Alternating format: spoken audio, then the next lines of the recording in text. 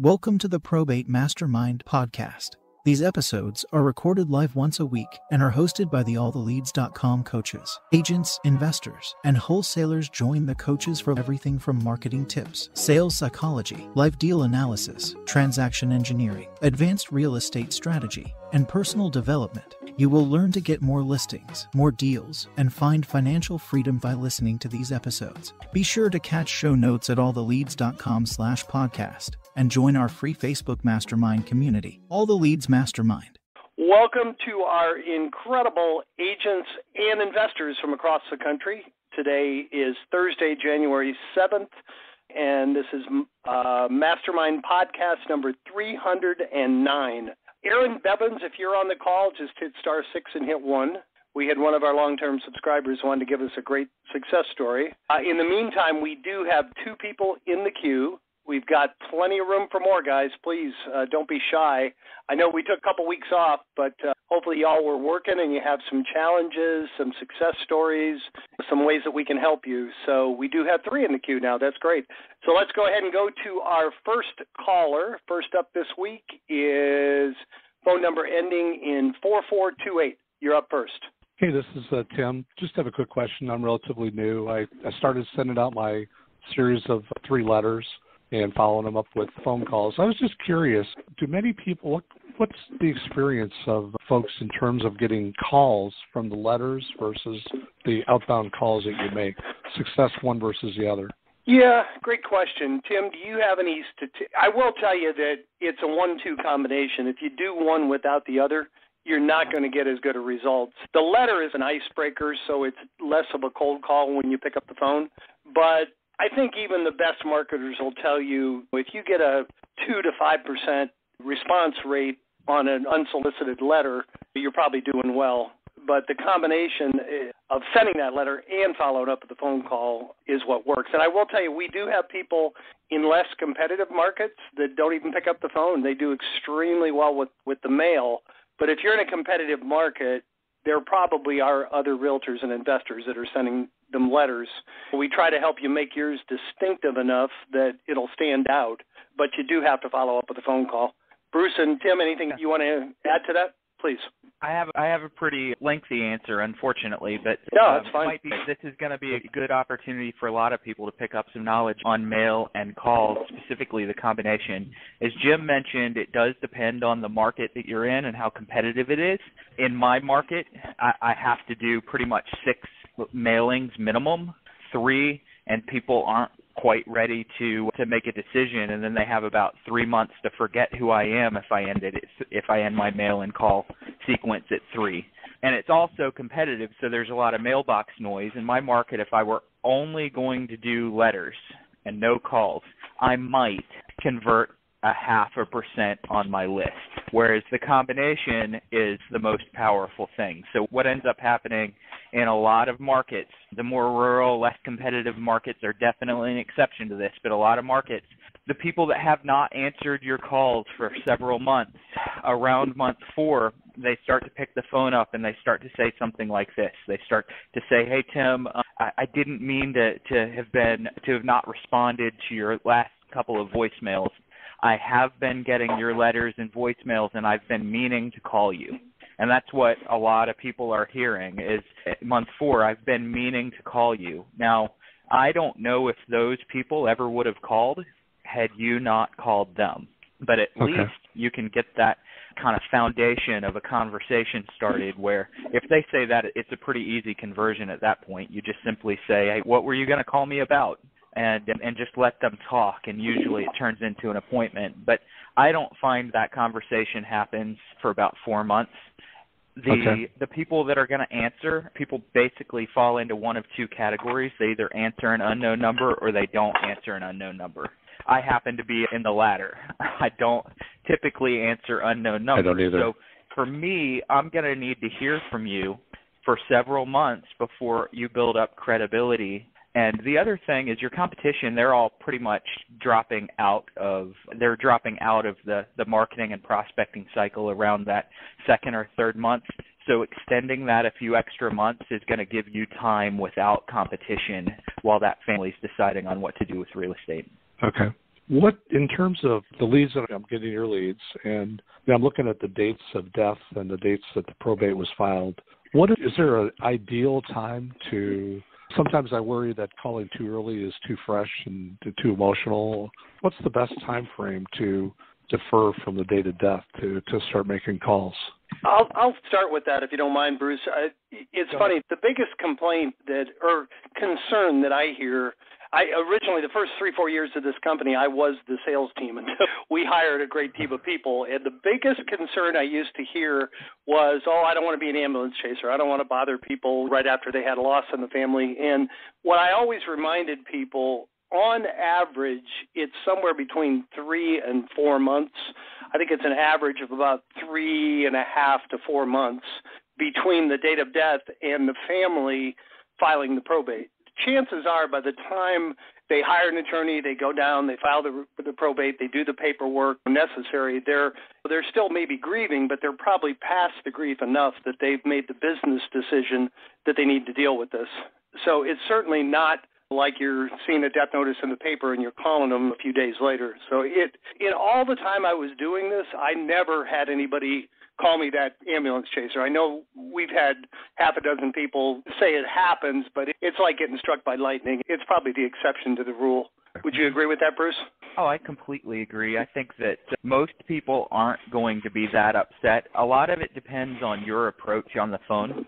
If you call and say, "Hey, I, I literally had this happen. I had a, a competing agent that I knew, and one of his neighbors died, and he walked across the street during the wake. During the wake, knocked on the door. Family member comes to the door and he said, "I guess you're going to be needing me soon." And he handed his business card. Now, none of us would do none of none of us on this call would do that, but there are techniques on the phone that are a little bit more abrasive than others that you probably want to avoid. That, hey, I'm calling to see if you want to sell the house immediately. But if you call and you can summarize what you do and that I, I have a local service that really concentrates on helping family members who've recently lost someone navigate through the tough process of probate. And listen, I don't know if what I'm offering is going to benefit you or not. Could we talk for maybe 30 seconds and let you decide if if it's worth a further conversation? I don't know anyone that would get mad at that. I've never had anyone yeah. get mad at that. So a lot of it depends on your approach. If you come very empathetically and talk about a service that helps family members who who are going through a tough time navigate through this, why are they going to get upset even if it's only been 2 weeks since Okay. Yeah, concern probably is unfounded. Yes, on my part. Yeah, let me add one other thing to what Bruce said because he's right on the money. This is Tim. The other thing I would add is that when you mail out and you're doing it over a two three month period and you're starting that process, you're making the assumption, as Bruce said, they're they're maybe holding on to one or more of your letters, or they might toss it the first time it comes in, and maybe the second time they look at it and go, I've seen that before. And we all unconsciously respond to some subliminal things that come out. So they're going to mm-hmm. eventually, if they don't do it the very first time, and we do a really good job of making sure that we get great open rates, and it's all anecdotal because we hear about that. And there are people literally who get calls from their first mailing and they get listings or they're able to purchase property from their very first mailing. And it definitely happens. And we hear about it every month. Somebody often calls in and says, I couldn't believe it. I sent my first letters out. We heard somebody last week, two, two opportunities in their first mailing. We got a, a letter from a customer and they were so excited. But more importantly, the other thing you might want to consider doing is in one of your mailings, include a trifold brochure that talks a little bit more. You can do a good bit more with it. It also gives the mailing itself a little bit more volume in terms of the size of the envelope, and it, the more oomph there is inside that, the more often it's going to get opened. And we we work closely with the postal service, so we know how thick we can make it without getting over the cost numbers where it doesn't drive the cost out of the stratosphere to get that done. So if you haven't considered getting a trifold and you're getting serious about mailing, that's something you ought to talk to uh, our team about, and they'll help you put something like that together as well. Then they've got that brochure to look at as well as your letter, and they know you're serious. They know you're not just trying to hustle them. Mm-hmm. Okay. That's great. Awesome. And Tim, we haven't talked about the trifold brochure recently. We're getting off your original question, but you can also use that trifold right. to go up, well, to to go out and get some attorney business. Say to an attorney, I know you're not allowed to market. We, I, out of the probate leads I get every month, probably 25% of them don't have an attorney.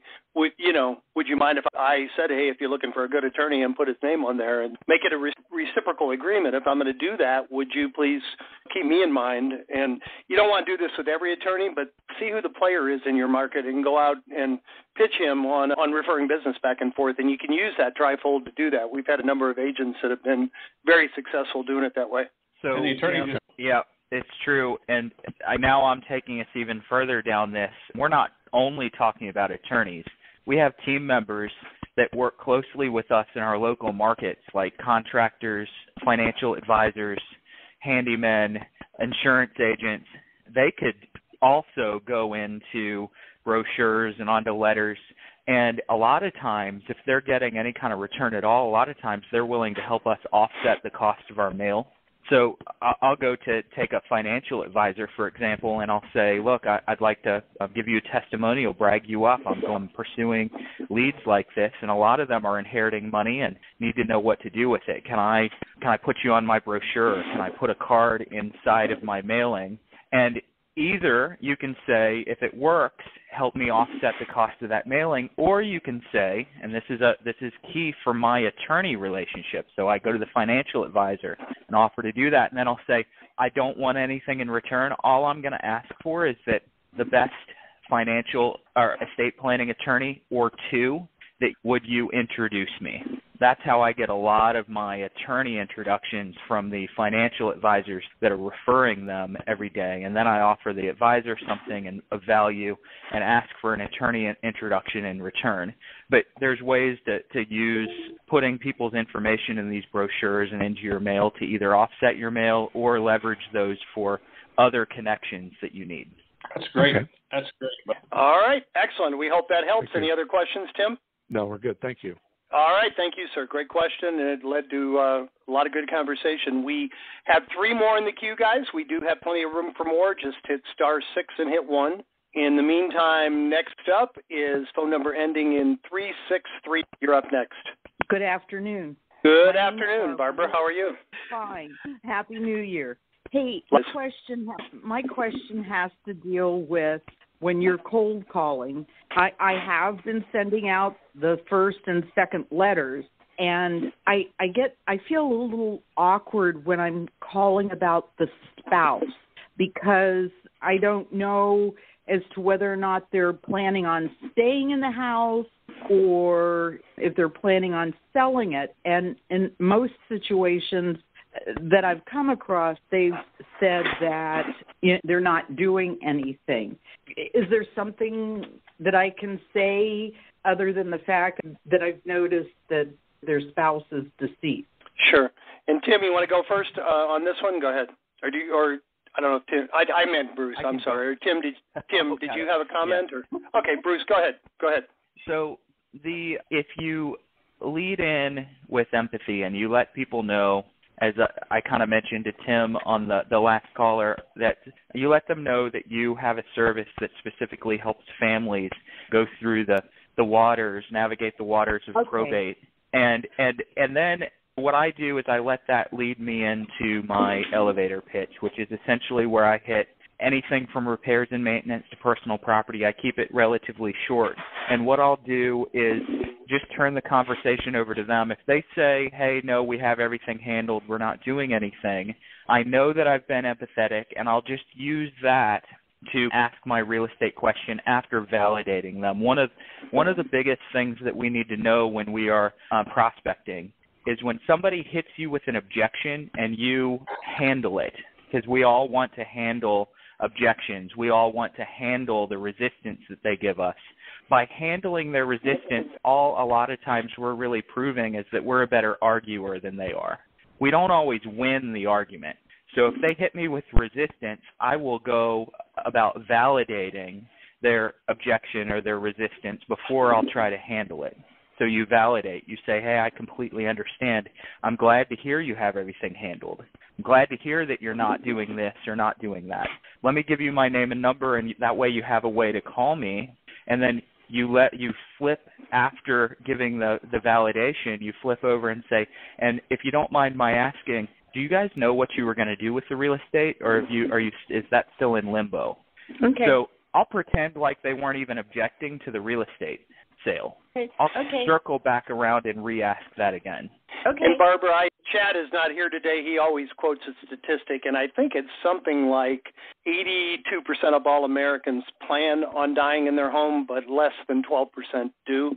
So that Yeah. surviving spouse, it may have really good intentions, but especially if it's a widow, Chad always tells a story or two too from his own business where no way I'm gonna I'm gonna die here. I, I don't need anything, and he said, well, not a problem. There may be things that come up, and remember, they it might be her first winter in the home. She might not be up for the maintenance, the upkeep, and anyway, he had one like that. He left a brochure, and then just months later, the surviving spouse had a stroke, and their family members found the brochure pinned up in the refrigerator and said, "Come out and list the house." So that's one you want to treat more like a long-term lead. Okay. But just adopt them. Oh, you're welcome. Adopt them into your sphere of influence, and just Okay. treat them like a past clients or a sphere, and keep in touch and see how you can help them. All right, appreciate it. And Tim, I Tim, we lost. Go ahead, Barbara. Did you have another question? Go ahead. Yeah, I was just going to say I just sent some letters out from December. Got a call this week from a gentleman who said that I was the only one that had sent him a letter. He was struck by my professionalism. He really liked the letter a lot. And I, I can't help feeling too that the fact that I handwrite all the envelopes because I, I feel that people are going to open that more often than if it's a label or whatever. And I'm I'm getting there. Good, good. You definitely are. I remember from day one when I spoke to you, you've always had a great attitude, and it's it's a process, and you're following the process. Keep up the great work, and go get that listed. Come back and let us know. And then, Okay. Tim, I think we lost you for a minute. Tim, you had a comment also, correct? Yeah, yeah, and that was from the previous call, but I'll actually comment on what she just said as well. It's important to realize that when we do the mailings for you, we don't use labels, and we have written our own specific software that not only uses custom fonts that we've created to do what we do to print the letters, but they don't look like everybody sends letters out. You get them all the time in the mail that have a script font on them, and they look crappy, and nobody wrote those. But we not only use our own handwriting fonts, we actually form each letter differently than the rest of them on there. We print them at a sort of a skewed, warped angle. They definitely appear handwritten, and the same thing with anything that we put on them. If it's designed to look like it was written by hand, ours look written by hand, and they're indecipherable from being that way. And we're really proud of what we do with that. So if you're doing one or two of them, you may not want to you may not want to have us do it, but we have customers literally who and, and that's the one thing you got to realize. We we are willing to do this as a short run. We're here to help you. We've got customers who do one and two letters a month after their third month. They work their list down, and they may have started with 50, and by the end of the third month, they're only working a couple of people, and we mail those out for them. And so they'll start with 50, whittle it down to 20, whittle it down to 10, whittle it down to five, whittle it down to two, and we still do it for them. And we've got several customers that do that, and we love that because it's already in the system, relatively easy for us to do. We get to know you well. It gets customized specifically for you. So we're happy to work with you, and you won't find anybody else that's willing to work with you at that level and do those kinds of short runs for for the silly prices that we're willing to do them for. Thank you so much. I'm glad you're there. Thank you, Barbara. And then Tim, you had a previ- a comment on the previous caller also. You said. No, I, I'd already done that, but that was that Okay. when I said it before. We're good. Got it. All right, great. Next up is phone number ending in 7583. You're up next. Hey, how you doing, guys? My name is Cornelius. I kind of been on the sidelines for about about six months now, just um listening to you guys' podcast. So I got two quick questions. The first question I would be, with a person with a limited budget to really dive in and invest, what would be the best strategies you would um, suggest to be other than cold calling? Because I'm doing that now, and my conversion rates are not really high. Well, I really haven't got a deal yet, but that's one. And then my second question would be, I'm in Virginia, and I had an issue with a client to where that she had siblings, and the siblings wasn't on listed as a fiduciary. But when it was time to sell the house, the siblings wanted to sue her. And when I went downtown the courthouse to ask the question, to be like, "Hey, how's this possible?"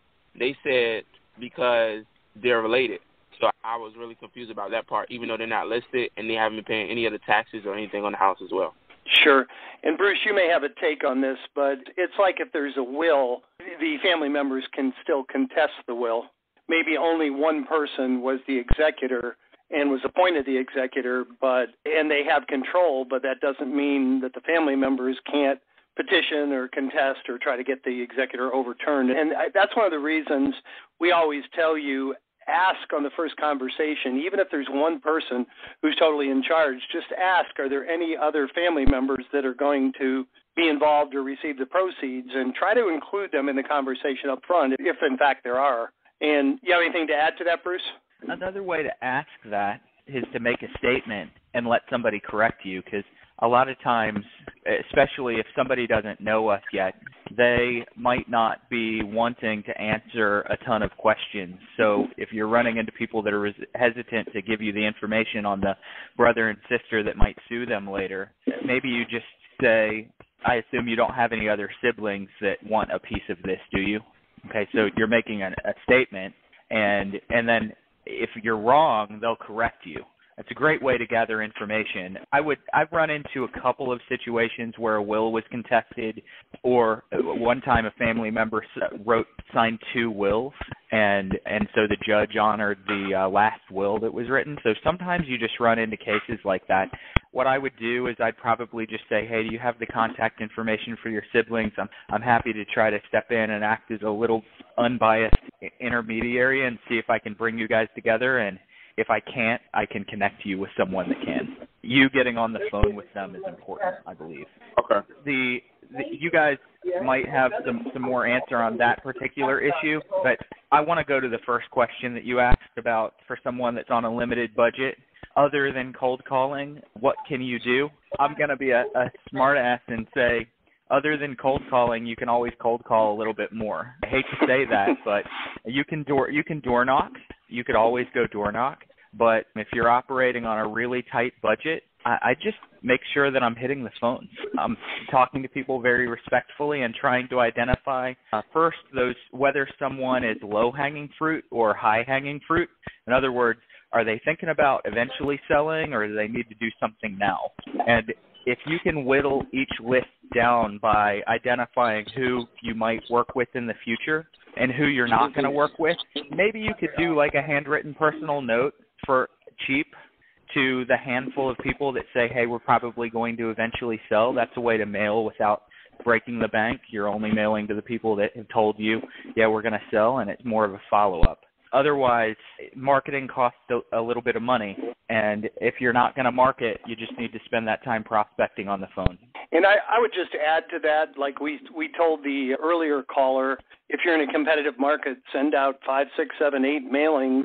If you're not getting immediate responses or having good conversations, if you're only going to call, be the most proficient caller out there. Call these people for four, five, six, seven, eight months until you disqualify them. I would just call everybody at least once a month, maybe every other week, until they say, oh, "No, I'm never going to do any business with you." Because it, it, reminds me when I was an active agent, the day a FSBO came on the market or the day it expired, they'd have a hundred contacts, a hundred calls, but a couple months later, I was still calling them, and I was the, maybe eighty percent of them were gone, but the twenty percent that remained, I was the only person still contacting them. So just be the most dogged, most persistent caller, and just be really good with your lead follow up, and, and eventually you'll you'll have some wins. Make sense? Sir, still there? So All right, you're very welcome. We have three more in the queue, guys. We still have time for more. Just hit star six and hit one. Meantime, next up is phone number ending in 3215. You're up next. Hey, this is Dana from uh, Texas. Doing great, Dana. How about you, buddy? Good, good. I have not received my first list yet, so I am okay. uh, trying to be a little proactive.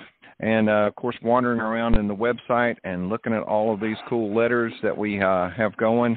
So I'm assuming that on my first phone call, somebody's going to help me pick my letters. Am I thinking that right? Uh, yes. I mean, go ahead. I'll let you guys answer that. Go ahead. Yes, that's a true statement. We have implementation specialists that are here to help you do that, help you get your website set up, help you do anything that you need to go do and get you all fixed up. And we make sure that it does what you need to go do and tell you how to edit them and deal with all the pieces of that.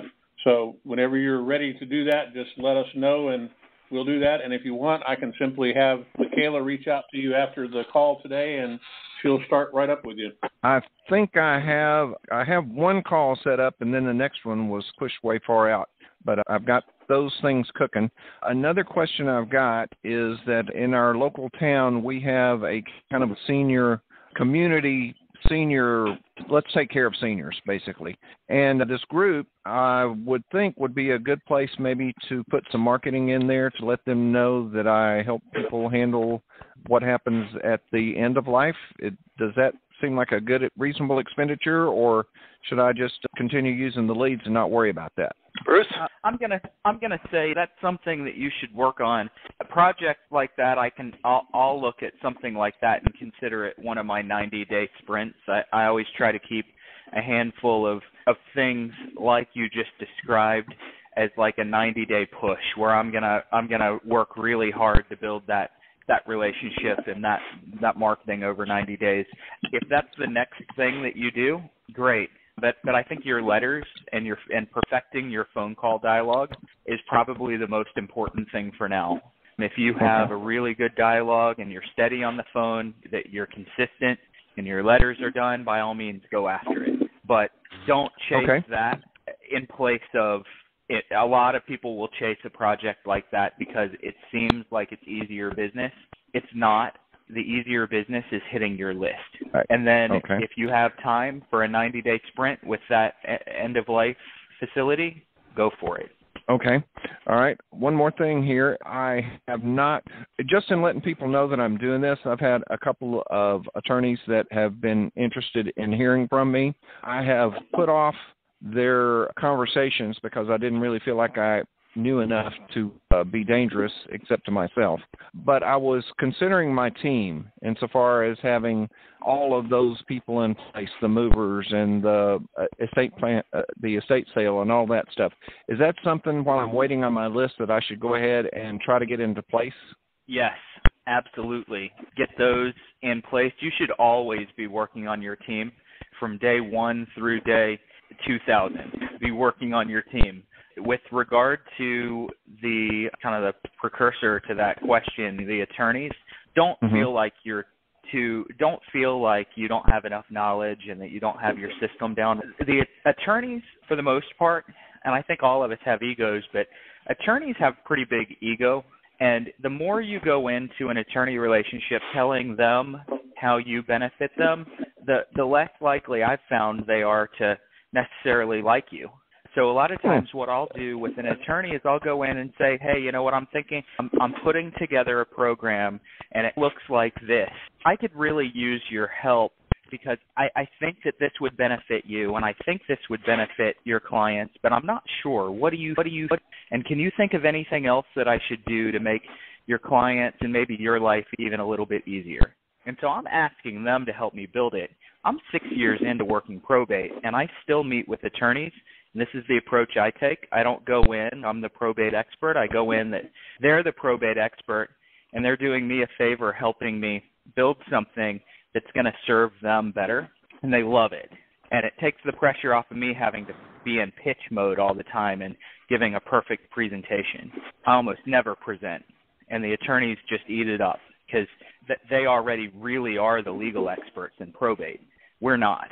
Well, that's golden We're advice, and I would also yeah, mm-hmm. great advice. And I, I would also remind you that you, I promise you, more about real estate than they do. We don't be intimidated that they know more about the law because that's what they went eight years to college for. so mm-hmm. give them credit for their credentials, like Bruce said, and and then they'll listen. Once you build that relationship, they'll listen to your credentials in real estate. But I 100% agree. Don't lead with that. Great advice. Yeah, and if you want, that, if you that want is a awesome. That is that's worth the price of the phone call right there if you well, the phone call was free. or- I hope it's worth more than that. Absolutely. Sorry, Bruce. if you want a tool or resource that you can use uh, to leverage uh, more of that type of conversation, is go create yourself a checklist. Just Google the um, probate process in your state. write out a write out a checklist of the probate process. I've created this checklist. I think it might help some of the people that I'm working with and if you'll give it a review for me, I'm happy to put your name on it and, and send it to anyone that doesn't have an attorney yet. Now, I know that my checklist is spot on in my state, but I'll intentionally leave a mistake or two on my checklist when I send it to an attorney because I want them to, to see something and call me back and say, hey, I think you need to do this. I want them to correct me. Most people love offering you insight and correction and direction clarification. They like that create a checklist for yourself. It could just be a single page or two pages like mine. Send it. Just say, hey, if I sent this to you, would you review it? I'll, I'm happy to send it out to my clients or my leads that don't have an attorney. Wow, that is awesome. That is super super awesome, and it just gives me more more food to to chew on, and it gives me a greater sense of excitement. I'm looking forward to getting into this. This is very good. Thanks for the uh, input, and I look forward to hearing the rest of the call. That is awesome. And for those of you in line, forgive the. I'm going to let somebody jump ahead of you. I my office just told me that Earon, you were having trouble getting in, so I'm going to unmute you now. Earon, is this you on phone number one two nine six? That is me. How are you doing, my friend? doing great. Little background, guys. Earon and his dad have been with us for how long? A couple years now, or has it been that long? It's been two years. Yes, sir two years, never hear from or rarely hear from them. They just go out there, do their own thing, and then your dad let it drop just casually that probate's our bread and butter. It's the best source of business we have. So I said, you got to have Earon come on the call and just tell us a little story. Tell us how you're using it, what's working for you, Earon, please. Sure, sure. So we hail out of San Antonio, Texas, and hopping into and we primarily wholesale real estate that that's what we do I, I don't have a license I've never owned a business before. We just had this we saw a YouTube video of somebody talking about selling contracts and how it was legal. We did research on it and we just fell in love with the concept. And then then my dad found this little company called All the Leads and he said you got to hop on this call that was 2 years ago. We did. We loved the energy. We loved how y'all guys serve. And so we got our first couple lists. I want to say the first few lists, nothing came out of it, and so we were a little discouraged. But if for nothing else, pride and, and belief in the company, we we just kept getting lists and even added lists surrounding surrounding cities here in San Antonio, and and it was almost like the floodgates of heaven opened up after like month three or four. And first year, I want to say we we did about six figures just in in probate, and that was 2018, and that was only the last few months I, want to say last four to six months of 2018. 2019 was our first full year. We did half a million gross profit and assignment fees using all the leads. And and since then, we've I'm not gonna I'm not gonna pretend like it's been peaches and cream. Like I said, I'm a new business owner. Lost a whole bunch of money in switching it up and I got into triple net leases, and uh, we got too big for our britches, and ended up getting in a whole lot of trouble. Lost a whole lot of money going into 2020, um, and then coronavirus and all that fun stuff. But uh, all the leads has been a, a source of our bread and butter, and we're just excited that we've aligned with you guys and that we've we've come into contact with you. And you learned your lesson. If something works, stick with it. You're back to stay. Right? That's what your dad said. That's, yeah, exactly. That's exactly. I'm not getting well, too big for my britches anymore. Yeah, a few things that are great about that is we do have a lot of wholesalers, a lot of wannabe wholesalers, and we don't get as many success stories from them as we do realtors and investors. So that's one reason I wanted you to come on, Earon. And I definitely want to be in your show. Sorry about the miscommunication, but let's schedule that as, as soon as possible. Earon does a very successful podcast and tens of thousands of people, I, I think, from what you told me. And if you want to pitch your podcast, go ahead and mention it, Earon, while you're on the call. Sure. So we have a, a community that. I'm sorry. What's that? No, go ahead. Go ahead. I was just going to say, go ahead and, and tell the people how they can get on your podcast. Sure, sure. So we have a community that, that we started at the beginning of 2020 called the Superhuman Wholesalers, and uh, the whole concept behind it was alone. Alone, we we tend to feel lonely. Uh, go figure, and weak, and sometimes sometimes just discouraged. This business is super. This business is super discouraging uh, when you're alone. If you're not, if you don't guard your spirit. So the idea behind the community is what if we can get together get a whole bunch of people together who are of like mind and, and it be like a bunch of lonely crazy entrepreneurs come together to support each other, and and that's what the superhuman whole and and the objective of it was to help as many people as possible hit their first six figures wholesaling real estate and, and do it for free and just to have a community. And the group is located on on Facebook. It's it's called Superhuman Wholesalers. And the the core of that group each week there is uh, a show that we do, and it's called Real Estate of Mind.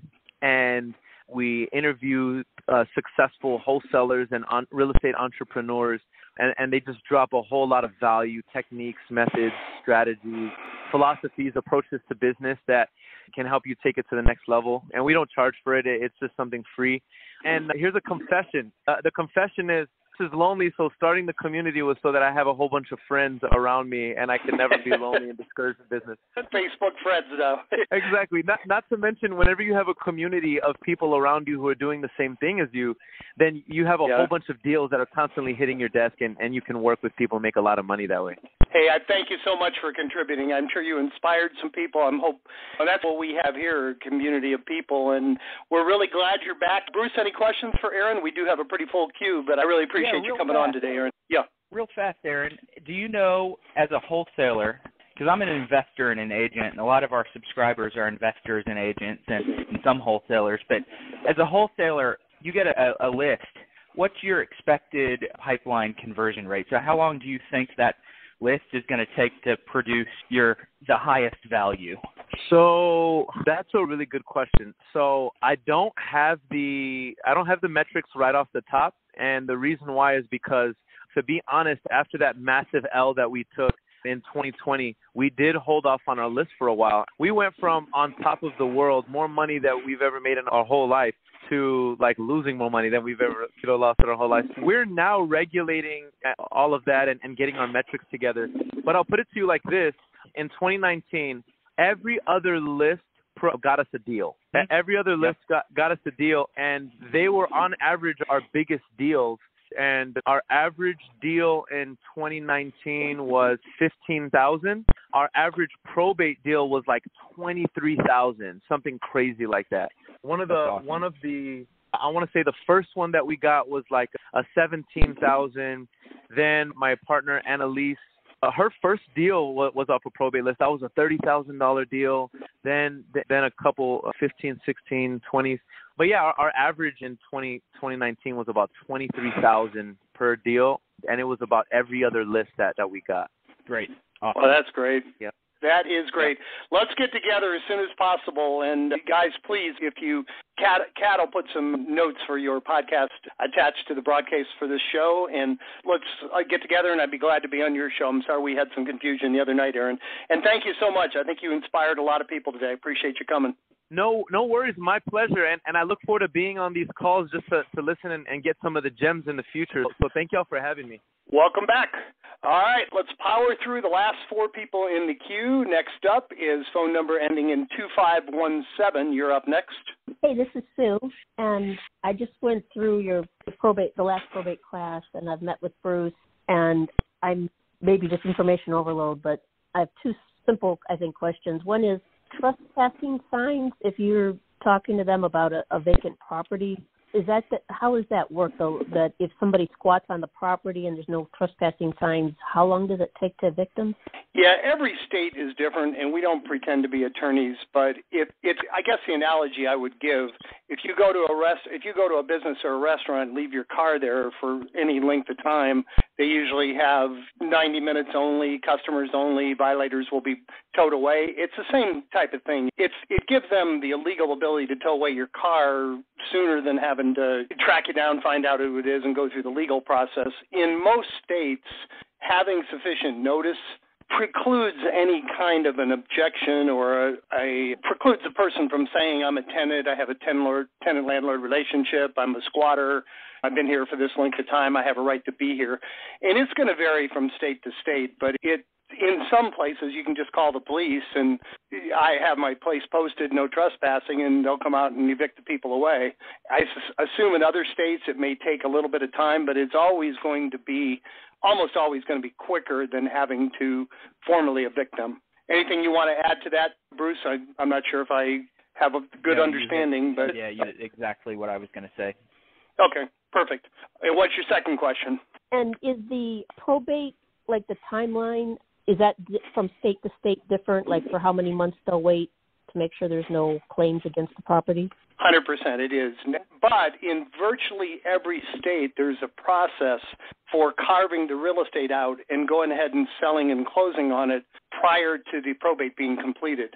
Yeah, in Florida, you just have to go before the judge and it's a hearing and and they do that and then the proceeds go into escrow. The seller doesn't get them until the probate's completed, but it allows you and the sellers to get the property sold quicker.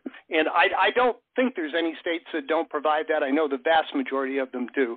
And that's a good conversation with the first time you do a deal, good excuse or good reason to call the attorney and just ask him is how long do you think this will take, and can we petition the court to to be able to close sooner? And again, that's a valuable thing that you can mention to the seller because most sellers aren't aware of it. And believe it or not, even in California, like with full authority, a lot of attorneys don't mention it either. I think it just complicates their job. So that's a good value you can bring, and it would probably just start with the conversation with the probate attorney. Okay, how long it takes to, to how long it takes to actually close and settle probate is almost, in, in the majority of cases, irrelevant to us because the family right. could leave probate open for years and years. It doesn't mean that we can't list and sell or buy the house. So let them close probate on their and their attorney's time frame, and then we help them clean the house out, do the repairs, maintenance, and get the deal. Okay, very good. Thank you. All right, perfect. Let's see. Next up is, I think it's Kathy, phone number ending in 3040. Hi, good afternoon. I'm calling because last fall I I ended up getting three deals like bang, and I closed them between September and November. And now, of course, I'm not getting anything, and I thought maybe it was a holiday. But I got to thinking because I I want to show that I am an asset or I'm valuable. So I was thinking about offering them a a broker's price opinion, and I wanted to know what your thought was on doing that. Sure. I think that's a little. It's certainly something to keep in your arsenal. It's a little Okay. gimmicky in that in that I, I don't think many people are going to take it if you offer it inside of a letter. That I've tried offering probate checklists and vendor lists and Yeah. broker price opinions and all kinds of things in my letters, and, and it's just Yeah. rare that they get taken up on. But do hold that in your arsenal, and then basically you just say, hey, would it be beneficial if I was if I gave you a free broker's price opinion so you knew what you were dealing with in the future? They say yes, and you say, could I meet you at the house next week? But not, I wouldn't say in the letter because it, it's rare that someone's going to actually want that. Okay. Okay. All right. Great. I'll do that. Now I, I have a, a CRM, my own CRM through my realtor that I'm using. So I put a lot of my leads in there, and I build a campaign, and I've been sending them out like every 14 days because I'm having a lot of trouble getting people on the phone, a- anyone responding to me. And I thought inundate them with information, maybe they'll see value to it. Is, is that through email or letters? What are you? Uh, What's your medium for sending those? Email. Email. Okay. Email is customer service and it's branding. Uh, branding and customer service take a long time to convert. So your letters going out pretty consistently and you consistently leaving voicemails. Uh, so I expect about 15 to 20 percent of any list to be the type of person that's going to answer the phone, and about 80 to 85 percent that won't be the type of person to answer the phone, and Wow. uh, an unknown number. So when I'm calling the first month, I'm pretty much getting my 15%, and then I think my follow-up calls over the next few months are unlikely to get a ton of answers. But around month three or month four, Yeah. we will start to answer and say, I've been meaning to call you. So Oh. the calls and the letters will go faster than just email. But if- you're dripping emails and value through through email and through your CRM, it only helps. I wouldn't expect that to Okay. be your conversion, but it does reinforce your brand. Oh, okay. All right. Then I'll, I'll continue that. Okay. The other thing I had the other day, I had a gentleman call me, and he was he was kind of rude because he said you've been sending me letters and, and calling me, and I don't think I've been calling him as much as he says I have been. But he says, I, first of all, I don't know who you are, and he, he says I want to know if you're licensed. So I told him that I'm I'm certified and I said, I don't need to be licensed, but I am licensed as a real estate uh, agent. And this is just continuing education to broaden my scope in order to help people. He didn't like that. He, I don't want to work with anybody that doesn't have a license by the state. Oh, the bottom you're, you're line, licensed as a, you're licensed as a real estate agent, correct? yes. Yes. Okay. So that's the license that he was referencing. Don't worry about a probate license through the state. That doesn't exist. Your answer to that in the future is yes, yes, I am licensed in North Carolina, Yeah. uh, in whatever state you're in. Okay, I Yeah. am licensed, and this is what I do. I have a service that helps families. Okay, you don't know who I am. What would you like to ask? Okay. The bottom line was he kind of told me he said we're we're just going to follow what our attorney tells us, and then I tried to tell them about how much the attorney does and how much you're supposed to be doing, but he got kind of got rude and he just got to the point. He just take me off your list. I thought, oh, okay, if you're going to be this way, then maybe I don't want to deal with you. Yeah, you can't get them all. You may Yeah. want to wait a couple months and say, "Hey, you pop back up on my list. You're ready to do something yet?" I, I wouldn't automatically the first time somebody tells you no, you take them off the list. Maybe just wait a little bit longer to call them back. Got a comment, Bruce? No, I don't have anything else right now. All right, perfect. Two, three more in the uh-huh. queue, guys. I have. Okay, I'm going to try to get to all of you. Next up is phone number ending in two eight one one. You're up next. Uh, hi, my name is Ross. I'm in New York. Uh, I had a question. If do you have a contract? Because if I run into somebody who wants to buy it, I'm not even sure what. To, I'm a real estate agent in, in, in Queens. I want to know if there's a contract that you guys recommend, or. Uh, and the second question was, uh, if I'm paying for cold calling and a letter, and somebody else in New York is doing the same thing, do you cold call for both of us to the same names? That's my two questions. Yeah, to answer your first question, you, you're a realtor. You have a real estate license. Yes. Okay, yeah, you got to get you go, go to your local state association of realtors for the contract because they vary so differently from state to state, and make sure your broker approves whatever contract you're using. But there isn't one that is probate specific. You just may want to add some clauses. What Yeah. I do on mine, yeah, what I do on mine, I never put a closing date. I put closing will take place within 30 days of completion of probate or whatever. In case uh, the last one I got ready to flip, there one of the heirs died and it took another four or five months, and my contract was still void, still valid. We'd have to go back and keep getting it extended. And then, uh, forgive me, I forgot the second part of the question. I think I was going to defer it to Bruce. Do you remember what it was, Bruce? Yeah, if we have Yep, more than one subscriber in a county that's doing the the ISA service and the letters. If we are doing your mail, if we're fulfilling your mail and somebody else in your county has the same letter you want to use, we'll default to to only sending that particular letter to the first person that that, that signed up. And that's one of the reasons why we have 25 or 30 letters in the system is just in case somebody else has the same letter. ISA service correct me if I'm wrong, Jim. I think that we would would call for more than one person in a county. Hey, Tim, you can you are you still there, Tim? You want to answer that one, Timothy? And is not there. Go ahead, Bruce. I was just going to say, as much as I I want to sell our services, is there a reason why you're not calling yourself? Is it time? No, I'm just not really good at cold calling. But uh, what about that? So you think you guys just do the letters? My do you guys do the letters and I do the calling? Because I only have 150 leads. Uh. so far, I've, I've been for three months. Only been 50 leads per month. So far. You So might want to try both for a little bit while you're increasing your skill, but don't just only lean on our our ISAs. So if you are using our ISAs, great, but you should also be calling while you're improving your skill. Okay, just one more question.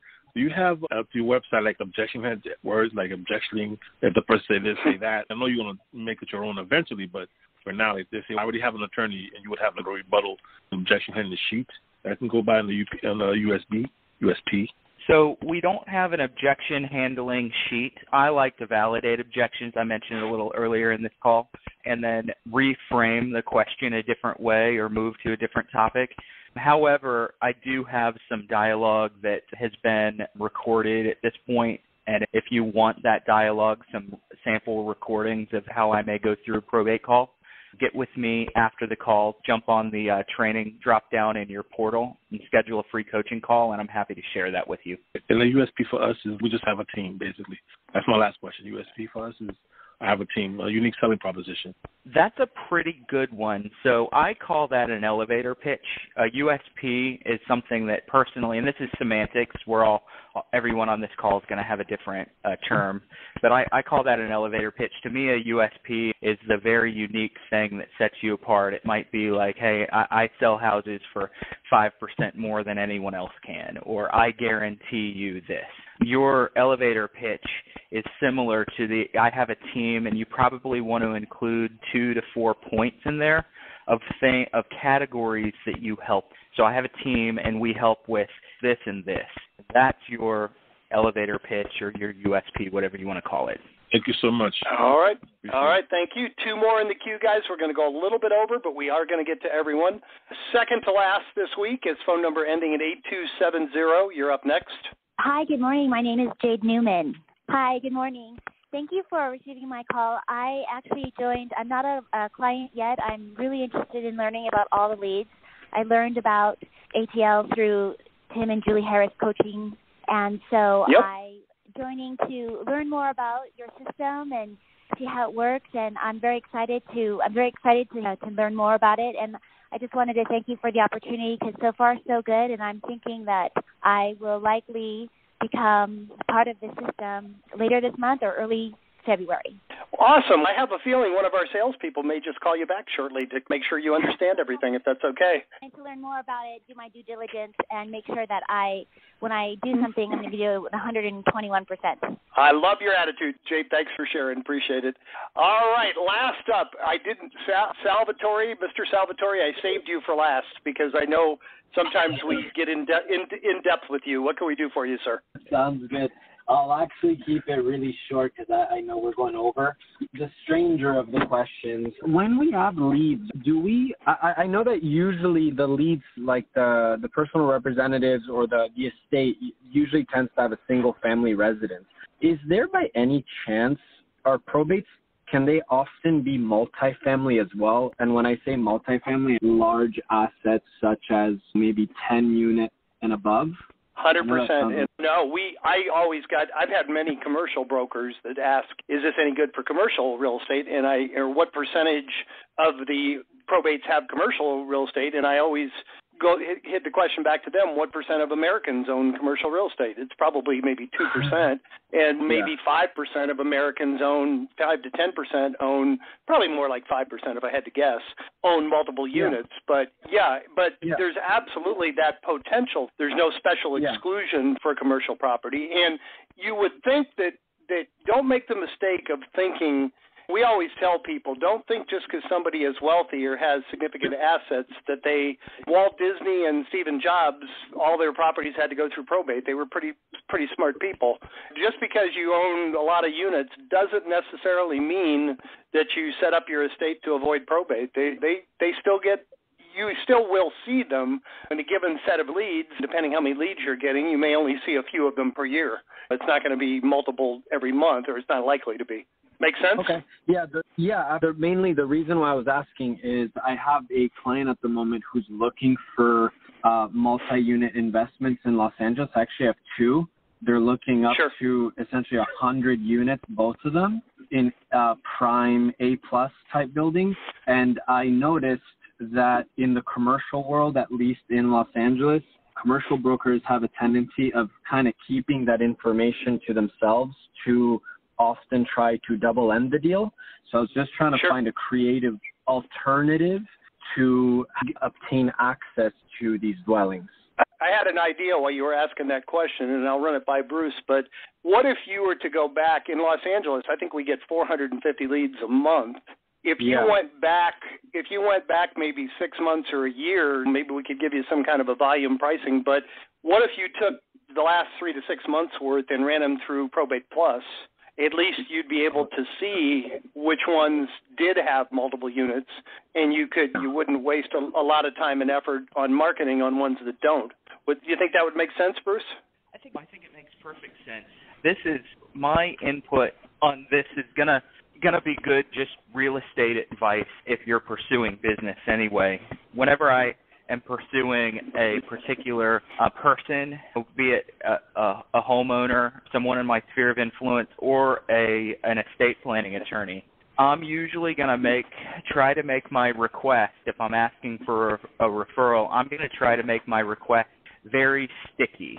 Okay, in other words, if you go to an estate planning attorney and say, "Hey, could you send me everybody that you have that has real estate?" That's a, a very broad brush. You're painting a broad picture, and they're likely going to forget that because they've heard that from other agents and investors before. But if you go to that same person and you say, "Hey, I specifically have investors who are looking for multifamily properties, 10 units or above. We don't want to get too crazy specific, but 10 units or above, and a lot of those don't go through probate. If you run into those, I have your buyer, and that's really sticky for them because they remember it. And not many people have asked yeah. for something like that. Same thing applies with your other I don't want to camp out on this, but the same thing applies with your sphere of influence if you're in real estate. Instead of saying, by the way, if you know anyone looking to buy or sell real estate, would you refer me? You say, I have a buyer looking for a four bedroom colonial brick house in such and such a neighborhood and I can't find it. Do you know anyone? They're going to remember that request much more than a oh by the way type of conversation. So Fed with in with your specific um, question, I would go to estate planning attorneys and use the two relationships you have with people that are looking for big complexes, and I would ask specifically for that. It's going to make you memorable, and it, it's not going to eliminate the other types of referrals that they would send you. It's just going to make you more memorable. I love that. I'm actually I, I'm going to take the second suggestion as well for the not you know, instead of saying, oh, by the way, do you know anyone looking to buy or sell? I like the alternative you had to that. So the absolute gold as always. Thank you guys so much. Thank Thanks, you, guys. sir, guys. It is so good to be back, guys. Great first call of the year. Great call as always, and you guys are the call. You're the reason that this works so well, and you guys always show up. You always participate. You have great questions. I want to thank each and every one of you for being here today. I want to particularly thank those that actively participated. And I want to challenge each of you take one thing that you heard on today's call that inspired you, go out and put it into practice. And please come back next Wednesday. We will have the role play call for sure. And then come back next Thursday and share your results with the group. Stay safe, stay productive, make it a great week, and we will talk to you next week. Take care.